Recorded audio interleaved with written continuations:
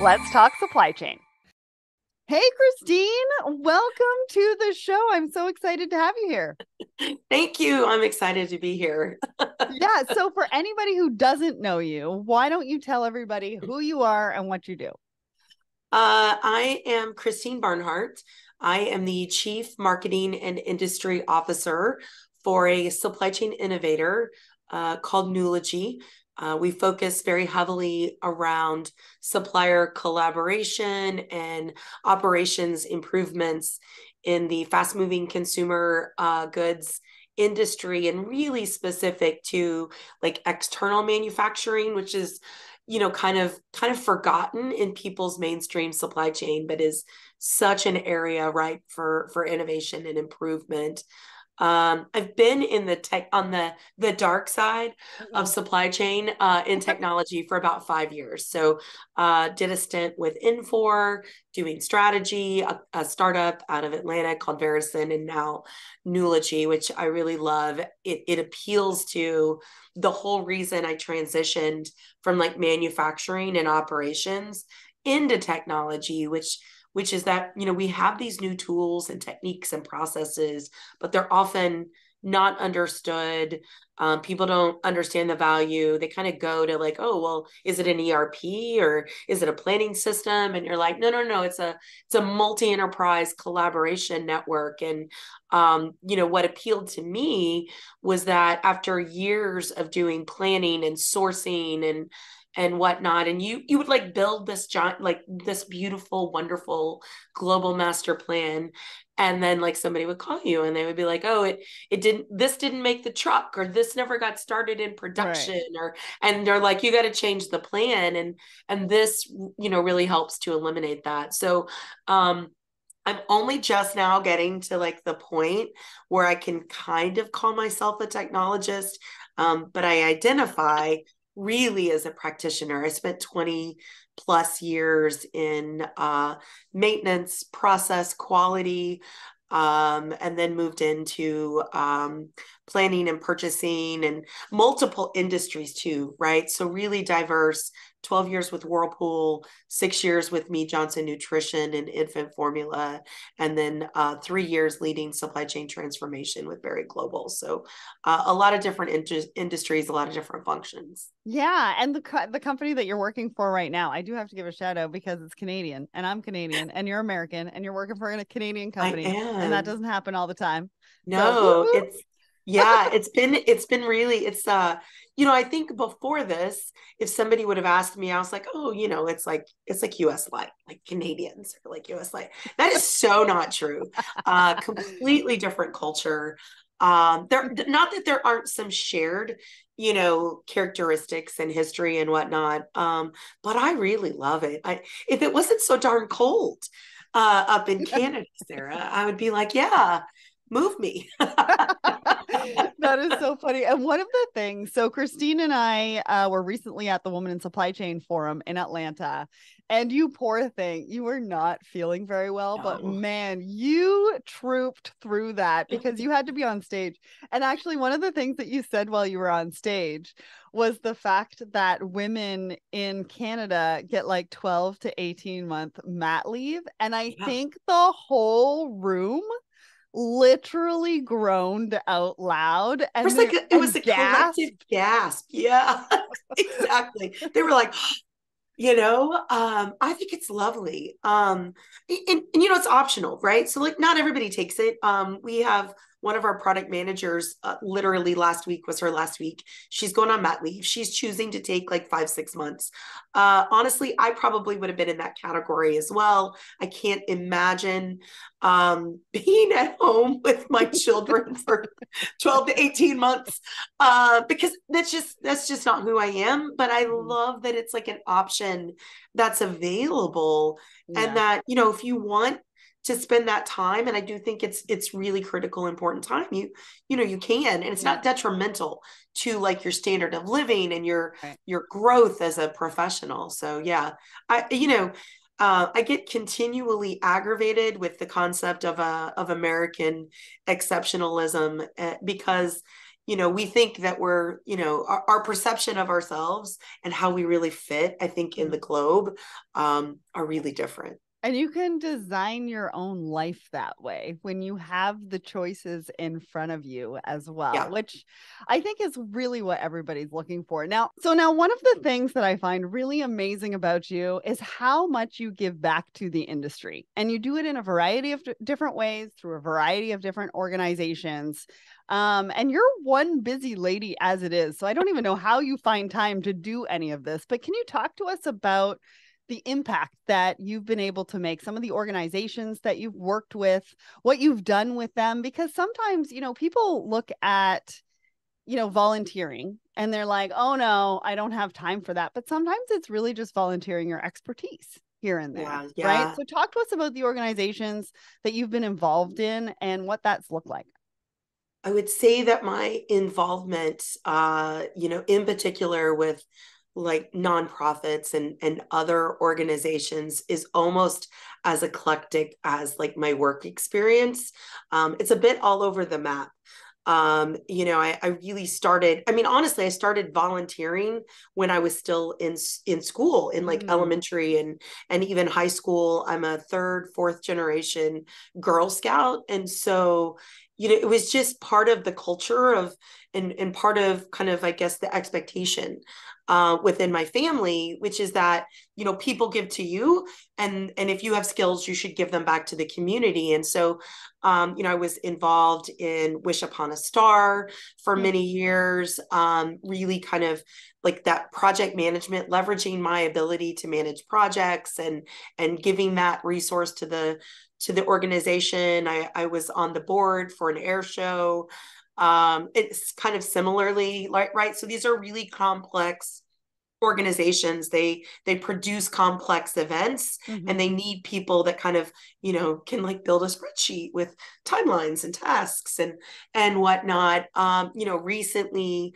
uh, was a founding member of an organization really focused on getting women more like better educated and more involved in you know government and policy and politics mm. uh, in a in a nonpartisan kind of a fashion and you know i think part of that is it's it's a little overwhelming for a lot of people and um and there's just so much animosity and strife and so you know really felt like it was important to uh, bring forward you know expert voices provide you know multiple perspectives and demystify like that process mm-hmm. a bit. So, you know, I think for for me, um, I, I, sometimes spread myself a little thin. I've gotten better at recognizing that as I've gotten older and kind of knowing when I need to like, you know, pump the brakes a little a little bit. Um, so you know, right now I'm in a new role. We have a whole new org. Um, so I'm kind of in that process of being like, okay, you like I, I still want to be involved, but I need to take a step back for right. you know six months, and then um, we can we can re-engage. And I think that's something I've learned over time. You know that you um, if you want to be effective in in helping you know others and other organizations, you got to be realistic as to you know what you can really handle at that moment in time. And yeah. you know sometimes you're you're there for an event sometimes you're you're there you know maybe for you know a season or a couple of years or or mm-hmm. whatever uh, and honestly i think if you look at where i've been engaged you know for me three four five years and then i generally feel like i've contributed what i can yeah. and and i'm gonna give that seat to somebody else. Yeah. And and i'll I, look i'll still support you call me if you need help um, but it's time for somebody else to kind of have a, a, leadership role. Yeah. And I agree with all of that. I mean, I'm a founder of a nonprofit, and I know we've had the same thing with some of our board members, and we appreciate it, right? You come yeah. to us and say, listen, I just need a couple of months. I'm in a new role. You mm-hmm. know, want to yeah. come back, that kind of thing. But the communication really is key. And yeah. I think you're also right in a position around a board. So I'm actually stepping back from a board that I've been a part of for 12 years. And I've oh, actually oh, wow. been a part of it for 20, just not at the board level. At yeah. the board level, it's been about three terms. I'm at the end of my three terms, and it's the Forum for International Trade Training out of Ottawa. And you're right you know, it's come to the point where I think they need somebody else in there with new ideas, with a fresh perspective. And it's not that I'm not going to support them. I will always support them. They are an organization that's always going to have a piece of my heart. And I will be there if they need anything. Um, but it's time for me to step away from yeah. the board as well. And I think you just need to know, right? And I think right. the communication, listening to your gut, not sitting in a position for too long, because there are really other other great people yeah. out there that can do that. Now let's um let's you've you've supported the industry you've supported a bunch of nonprofits let's talk about how women support each other now this is not necessarily something that i do talk about all the time on the show but because it's you and you and i have a great relationship we kind of can talk about anything um i want to talk about it a little bit because i'll tell you you know, running the Woman in Supply Chain series on the podcast and a blog and the blog, it's been very frustrating in the fact that we feature all these amazing women and they have so much to say and their journeys are incredible and people learn from them, but they don't promote it. And I don't need the promotion. I want them to promote it for themselves. I want their right. friends and families and colleagues to understand yeah. their journey and what that's looked like, what they've had to overcome, the advice that they would give people because it's so valuable and it makes an impact on so many people. But as women, I feel like we just don't take those kinds of opportunities by the horns and run with it. What do you think? I think it's um I think I would kind of divide this into two things. One is women promoting themselves. And I think a lot of women, yeah. myself included, um it, it, it's uncomfortable sometimes so like, uncomfortable you don't you don't I, you know like i like i can intellectually be like oh i've done these great things do, do, do, do, do. but right. then to like say oh you know like i'm a leader i'm a that feels really uncomfortable right like i feel like i'm being arrogant or uh, and I think some of that is just the history of kind of how society has has trained women to act. And so for me, I have to think about it and I have to overcome it. Um, and and I have to be really conscious of the fact that people don't just notice that you are doing great things. You have to take credit for your work, yes. and you have to be proud of it. And it, it doesn't mean that you're like bragging all the time, but but you, you have to be you know purposeful. I think the other side of that is for whatever reason, there are women that are very, very supportive of other women. Mm-hmm. And there are women that fit into the category of competitive. Mm-hmm. And um, I don't ever want to be in that second category.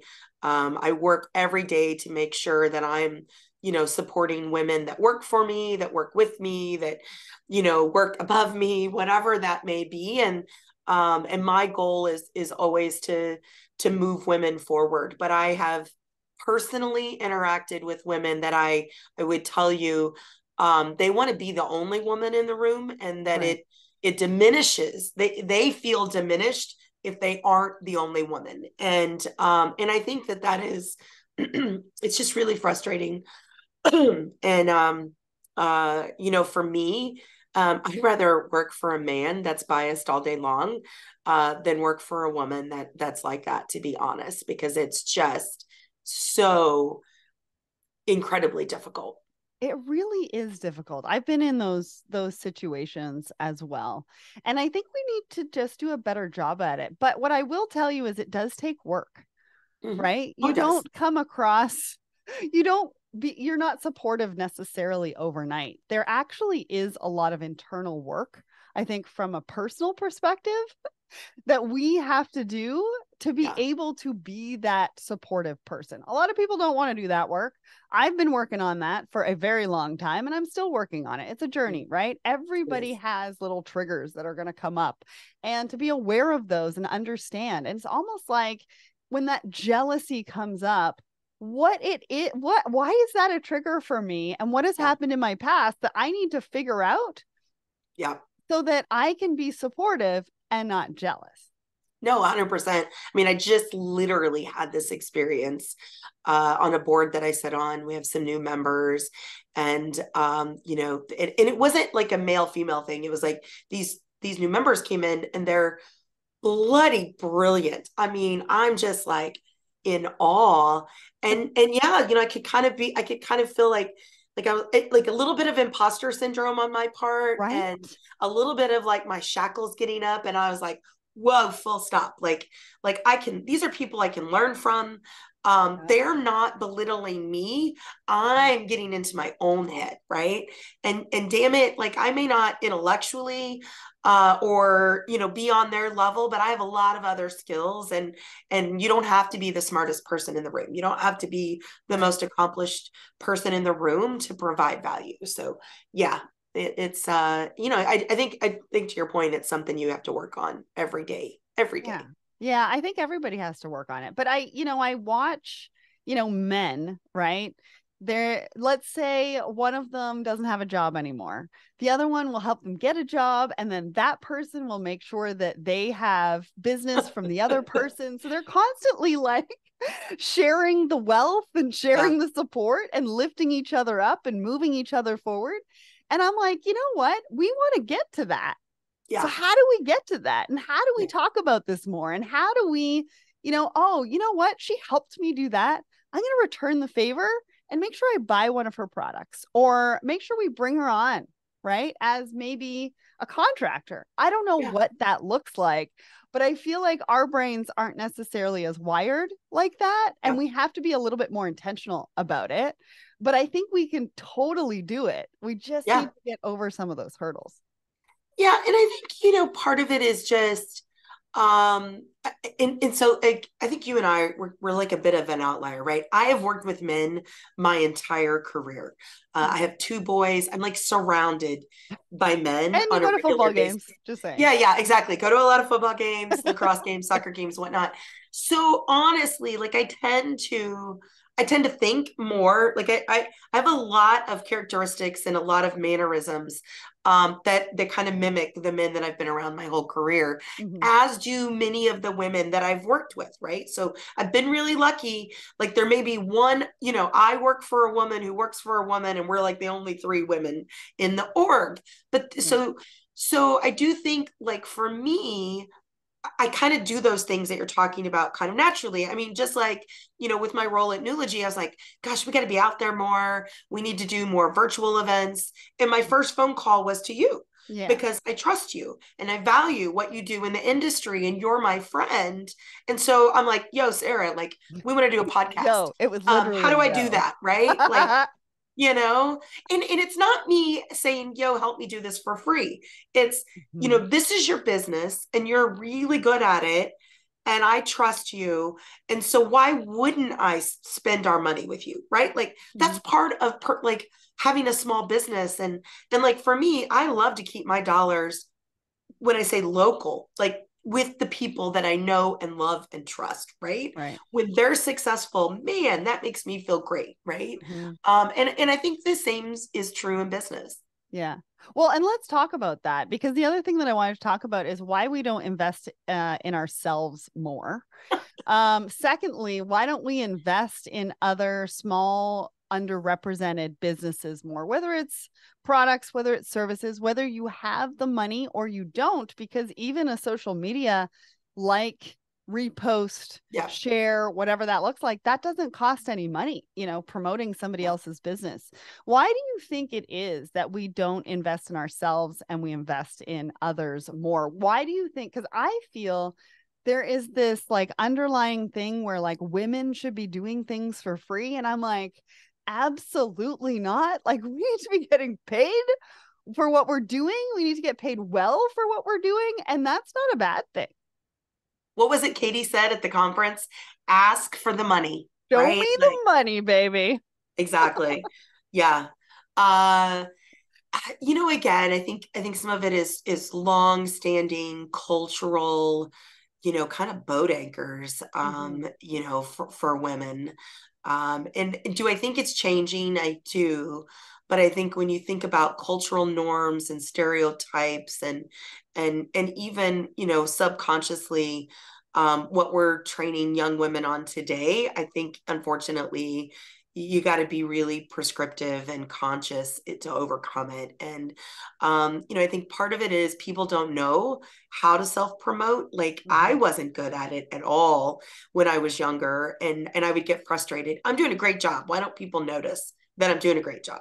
Yeah. So now I'm I'm I have to think about it. It doesn't come natural for me, but I I get on LinkedIn, I get on Facebook, I get on Instagram and I talk about like how you know the things that matter because i want people to know this is who i am this is what matters to me and that Yeah. is definitely a form of self promotion i i try to get on and in particular look at my feed to see like the people that i know that i trust that i care about you know what are they talking about? Can i like it? Can i make a comment? Can i can i share it and and Yeah. and promote it to my network then? Because you know it matters to me. And i think some people just are not um I, I think gen x in particular we're not great at it. The boomers don't even know what it is because i mean we at least grew up digitally native to some extent with some well with Yeah. dial-up networks. yeah which is but, but like our kids my kids they they get it they understand influencers and followers and um so i mean i think it's Influence, yeah. changing or i don't know maybe it's just my hope but yeah. um you know I, and i think as more women promote themselves and promote others like it it grows. I mean you're gonna laugh at me this is so funny. So when game of thrones originally came out like what 10 15 years ago Yeah. um i was just too busy. I just didn't have time to commit to like this like series. Um but a couple of weeks ago my husband and i we're like you know we want something that like wow. we can watch when we have time but we don't have to watch right? So we started game of thrones we're on like season six or season seven already. and i'm like Damn. how did I miss this? this is such a like female empowerment. like we're in season six, and like all of the lead actors that are men, they're like most of them are dead, and the like the people that are leading and making progress are all women. And I'm like, hell to the yes, I'm I got to finish this out. We need more of that, right? Yeah. Like because that then you know shows young women um that you know what I can I can be the mother of dragons, right? Like I can Yes, can lead- can. lead a group of men and and be authoritative and still have, you know, still be nurturing and caring and you know, I because women lead differently. We have different, yeah. you know, goals and expectations and mm-hmm. different drivers. Yeah, it's funny that you mentioned that. So I was watching Candy Cane Lane, which is the new Eddie Murphy on Prime. and Tracee Ellis Ross is an operations manager Oh my of a warehouse with distribution and order turns and all sorts of stuff that she's talking about in this movie. And Audrey and I, you know Audrey, right? She's Yeah. on Thoughts and Coffee and all that. We're watching this and we're like, yes. Female of color, operations manager of a distribution facility, you know, talking to the investors, talking to the board, and getting that promotion. And I'm sorry if I like totally ruined it for anybody who has not seen the movie. But Well, like that's- that's, only that's like- one component of it. But but but no think about that think about it. okay so it's a it's a woman a woman of color right in a leadership position but then beyond that we we you know it's supply chain right? She's talking like you know we have movies where we we see like the lives of doctors and lawyers and mm-hmm. mechanics and firemen and policemen and all these kind of like careers. But have you ever actually watched anything that was like centered around like supply chain or where the the character had you know what i mean like so i think there's there's a beauty in that as well so awesome. It was so awesome. We were literally like, I took a video of it. I think my team's going to post about it. I mean, stay tuned. So let's talk a little bit more about your journey. How has your journey sort of molded you? What does that look like? Because you were in manufacturing for a long time. What was it Mm. Yeah. like being a woman in manufacturing for so long, but climbing the ranks? And how did you champion other women to be part of manufacturing? Because a lot of times people are like, we're not championing it enough. You know, women aren't looking at it as a career. Da, da, da, da. But I think there's a lot of voices out there who are doing their own thing that aren't necessarily getting the praise, but that we need to learn from. yeah um well i'm not sure it was a great champion back then i mean that was That's fair. you know uh Michelle late Livingstone. 90s early 2000s huh Michelle Livingstone was on this series and she said, I did right before she retired, she was like, I did an absolute horrible job of championing Yeah. other women. uh you know i was uh, uh, number one i think i was so focused on proving myself Okay. um you Fair. know i you know, went to engineering school, you know, got into Whirlpool, was literally the only woman in the room um, in most meetings, and, you know, was just continually having to prove myself. I couldn't make mistakes. I couldn't be emotional. I couldn't, you know, and not that I didn't have some people that I could trust that I could be genuine with, but publicly, you know, I, I really wasn't. It, it wasn't me. It was a it was a ton of pressure um, had two kids right away, got divorced when I was 30. So when I was 30, I had a huge chip on my shoulder. Um, you know, I was going to make it. I didn't need a man. Uh, and I, you know, I, I was single for almost a decade, um, investing in myself, investing in my my children, investing in my career um now i'm in a completely different place right? I uh matured enough that i could recognize that it wasn't a weakness mm-hmm. to have a man in my life you know met my current husband and he is delightful but don't tell him i said that um because we like to harass each other and you would diminish my credibility there but um you know so i think you know i'm not sure it was great in the beginning. It's something that i think now I I try to make amends for. Like, you know, I was like like kind of focused more on myself and now um as I grow, I want other women to grow with me and I want to push other women up. Um, and that's a conscious effort on my part. It's, you know, why um, you know, why one it was so enthusiastic about the Women in Supply Chain Forum and uh, why I wanted to be on the board for the Association of Supply Chain Management. I mean, it's it's how I negotiated for myself in my promotion because, you know, we we're we we're talking about like multiple things. Oh, Christine, you know, take on this, you know, you know cmo role nope i'm i'm not a cmo that diminishes all of the industry knowledge and background that I that I bring. Huh. So, you know, really negotiated my title, my job description, um, really advocated that no, no, no, no, no, I'm not going to do the job and prove that I can do it before you promote me. Um, you know, and and and then had a whole discussion and educated, you know, the team about uh, proof bias uh, and okay. how women often are promoted and and hired for their accomplishments and not for their potential, um, which is not true for men. And it was like, no, no, no, no. Either either I'm promotable because I have the potential and you know whatnot. And so, you know, I think um, you just kind of have to nibble away at it, Sarah. Yeah. um you know in kind of everything you do but um i had somebody ask me recently they're like you've just you've done so much and you asked me earlier like what what do I want my legacy to be? Like, if I could, yeah. you know, one thing, I really want leaders and businesses to understand that transferable skills matter.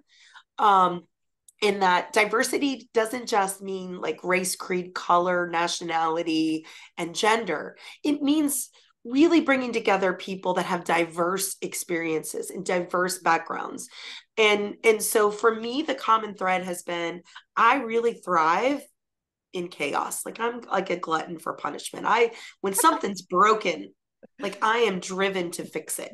And that's the common thread. In everything i've done personally and professionally something's been broken and i come in and i utilize my engineering and my ana- analytical mind and I assess what's broken and I bring forward recommendations to fix it. Mm-hmm. Um, and so, you know, I, and so I've been really lucky. I've been able to convince people that those are transferable skills. I don't have to stay in appliance manufacturing. I can right. move to infant formula. I can move from developing refrigerators mm. to managing, you know, global production from a planning standpoint. So, and and I think part of that is we as women, we got to do a better job at that. We don't have to stay in our in our swim lane, right? Yeah. Advocate. Look, here's why I'm I am awesome. And it's not just about my functional knowledge or my education. Yeah. It's about how I work, how I think, how I solve problems. Uh, and I can be an asset. I am writing all sorts of notes right now because I resonate with you on so many different levels. So, going back to what you said about not being a very good champion, I don't think I was a very good champion either.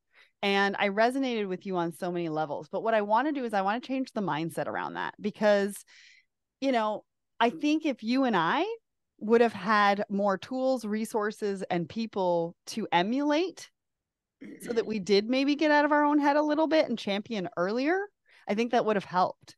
And so I think our generation, um, if we have not been a very good champion early on in our careers, how do we turn that around and make sure that other women early on in their careers understand what it means to champion others, depending on time, resources, energy, all of that, but that they can do it a lot earlier rather than later. Yeah, this is maybe where you and I diverge a little bit. Like okay. I look at um my children and my nieces and nephews and I'm not sure in your early 20s that you're supposed to be a champion. I think your job Fair is to point. learn and to grow. Now, I think you know, there I think it's you know teaching young people that it's okay to ask for help. It's okay, okay you should want somebody to champion. You need to develop relationships. But i'm not sure that they that they have to champion professionally. Now i would love to see like i am a huge proponent of like service right? Like can we get back like how about everybody does like a year in the peace corps? Like i i feel like we're pushing people into college and careers and and mm-hmm. whatnot before they've really had a chance to to provide service to others, right? Okay. So um but but that could help know, with it.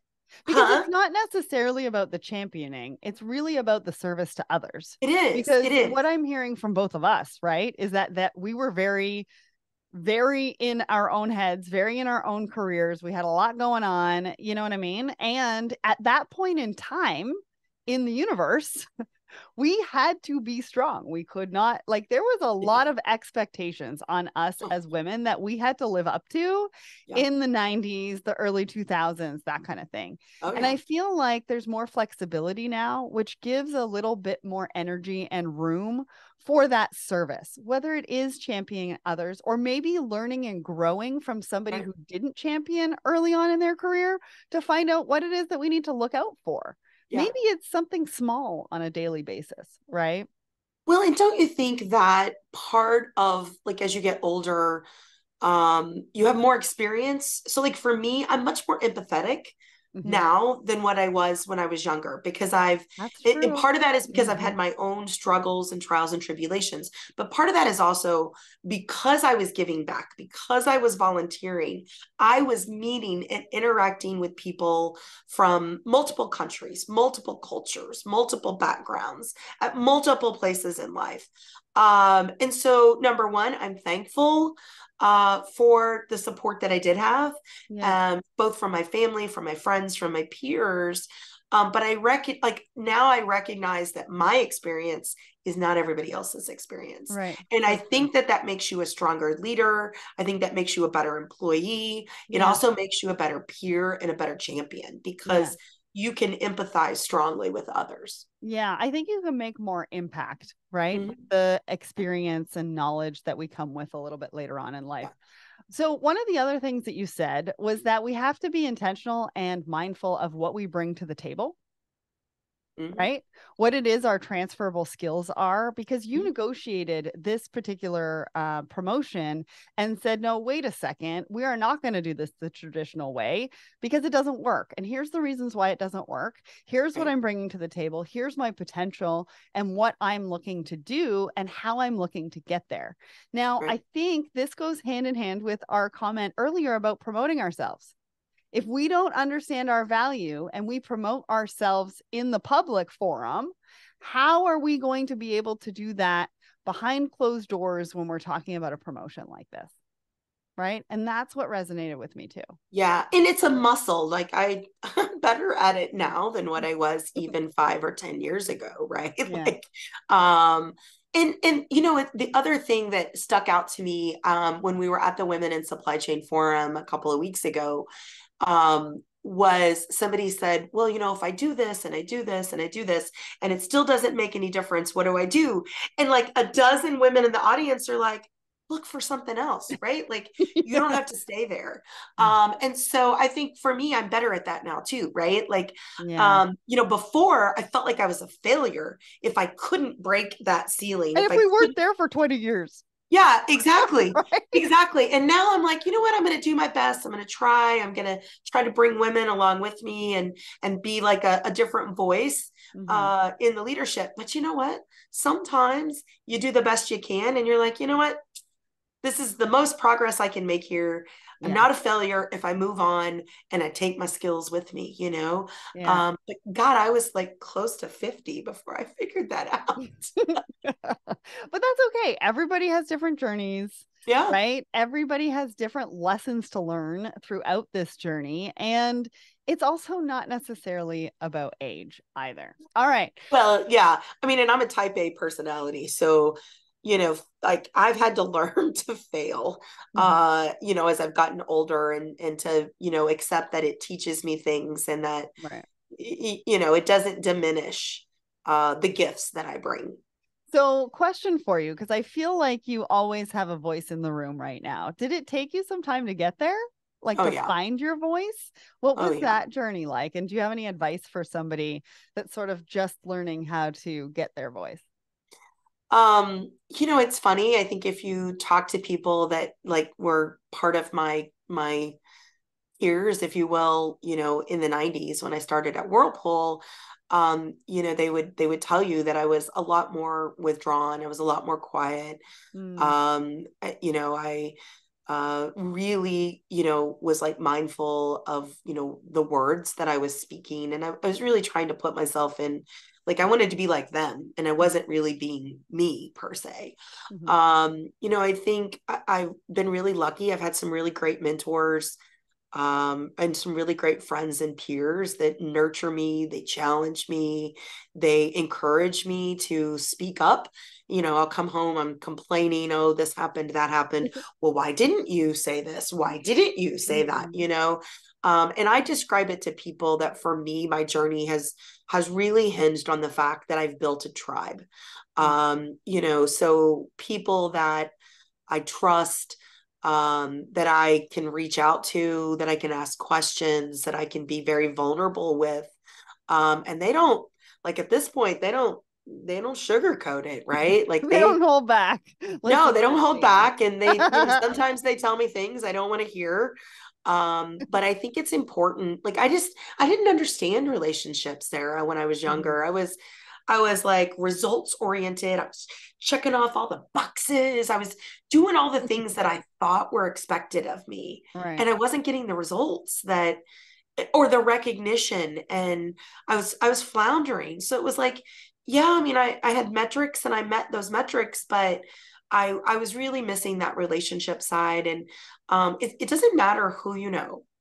It matters who is willing to speak for you and on your behalf. Do they know you well enough that they trust you and they're willing to advocate for you? Mhm. Um, and I think, unfortunately, men historically have done a better job at this than women. yeah. Um, we get Yeah. really focused in the day to day, and we're taking care of kids and parents and houses, and um, and and I think we we don't prioritize that we Mhm. need to build relationships. Yeah, it's interesting. I'm going to do an episode of Blended coming up about the cost of allyship because you talk about having somebody who can be an advocate and speak on your behalf. It comes with a lot of responsibility on both sides. Don't And- it costs anything. Like, I, like for me, it doesn't cost me anything to be an ally. It enriches Mhm. my day. It it bring like I I just feel good about helping people, right? Yeah. Like, Yeah. you Yeah, I- it'll be interesting for you to listen to that episode Okay. because one of the ladies that I met recently in San Francisco is going to be on that. And she's written a whole bunch of stuff about the cost of allyship. And I think one of the things is just the responsibility on both sides. yeah, It's not that it's necessarily a bad cost, but it could be a bad cost if Yeah. both sides aren't taking it seriously in the responsibility. So it'll yeah. be interesting. I haven't had that discussion yet. Um, but we have to understand, you know, those advocates, what exactly they're doing. What are they putting on the line for us? What Right. does that mean? And how are we going to give back to either that relationship or how are we going to take that and do that for somebody else? For somebody else, yeah. Paying it forward, that kind of thing. Yeah. All right. So if you and I were to meet a year from now, which could, I mean, for us, I hope it's before then, but I hope it's before then too. But I think in real life, right, mm-hmm. it's probably realistic that one year from now, potentially, because you're traveling all over, I'm traveling all over. Um, but if we were to meet in one year from now, what are some of the things that you, what maybe three things that you would like to see that you've done, accomplished? Anything. Yeah, I mean, I think professionally in the role that I'm in today, I I'm, you know, I have a whole new team. I would love to see that um my team is, you know, generating the results that the company requires and that they're being rewarded for it. So I think that would be the first thing. Uh I think secondly, um i would like to feel more like an influencer in supply chain i think i have uh, a voice. I'm not always sure how how to amplify it or use it. Um, so I think that that's an area that I'd like to spend some time. And then the third thing is purely personal. Mm-hmm. I am really hopeful that I am I am done doing renovation and in my new house and my new space that I can be proud of, that I can like have my own little podcast room or something in, right? Like, um, because that is like you know you just don't you don't recognize i don't think always especially in this work from home environment that if you don't enjoy the space around you mm-hmm. like it kind of wears on you i'm not like yeah. I, I, love where i'm at now i moved my office it's great but it's still not mine it's a rental and you know what i mean right. like yeah. so yeah um i love yeah that. i mean you know I, but i'm a simple person like I it I I never was one of those people that had a five year plan. I I'm a continuous learner.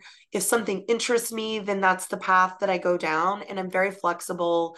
Uh, and I don't, you know, so I, I never knew I was going to be in supply chain. I'm an electrical engineer. Spent the first 12 years of my career in operations and then product development for one of the largest appliance companies in the world. Mm-hmm. Um, you know, I mean, it's luck and happenstance, and then um, for me, what's been intentional is that I like to learn. Hmm. So I did my Six Sigma black belt.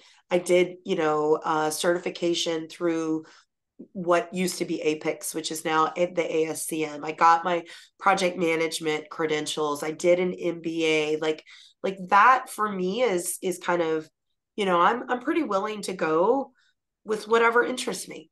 Right. I love that. I love that. And you're a big supporter and cheerleader and we love you for it. And, you know, I understand the feeling about being an influencer, but we all influence things in our own way every single day. And so I hope you feel that because I really believe that about you. And so we have some exciting things happening in 2024. So stay tuned because Christine might be doing a regular spot on Let's Talk Supply Chain. Plus, we've got the Secret Society of Supply Chain, and she's going to be helping me with that and being part of our virtual monthly meetups and all that kind of stuff, which I cannot wait. So oh, go and check out, follow, connect Christine Barnhart on LinkedIn. What's the website that you want to send everybody to?